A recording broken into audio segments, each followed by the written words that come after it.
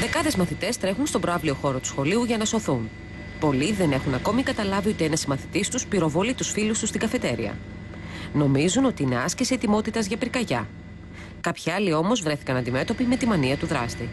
I saw three kids just fall from the table, like like they were falling to the ground dead.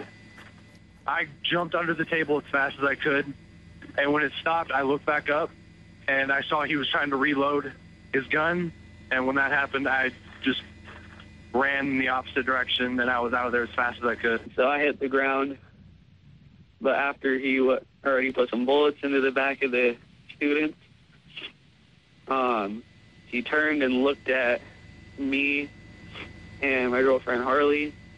Αυτόπτες μάρτυρες λένε ότι ο Τζέιλεν Φράιμπεργκ έφαγε το μεσημεριανό του στην καφετέρια του σχολείου, που βρίσκεται σε μια πόλη βόρεια του Σιάτλ, και στη συνέχεια σηκώθηκε και έβγαλε ένα όπλο από την τσέπη του. Το έστρεψε σε πέντε συμμαθητές και τελευταίο στον εαυτό του. We have two. We have a total of six individuals that were uh, involved. Two are deceased. One is a male. He was the lone gunman, and one is a female. Four others were injured.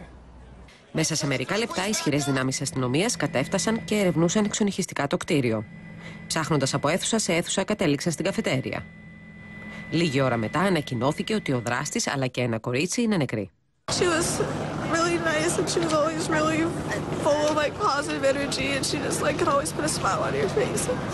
τα κίνητρα του Τζέιλεν Fryberg είναι αγνώστα. Κάποιοι υποστηρίζουν ότι το τελευταίο διάστημα βίωνε μια ερωτική απογοήτευση, κάτι που φαινόταν και από τα μηνύματα που ανέβαζε στα κοινωνικά δίκτυα. Με είπαν ότι η γυναίκα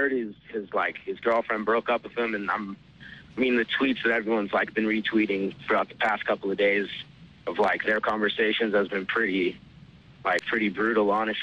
Ωστόσο, φωτογραφίες στο Facebook και το Instagram δείχνουν ένα χαρούμενο παιδί, αρκετά όμως εξοικειωμένο με τα όπλα, όπως και τόσα άλλα παιδιά στην Αμερική.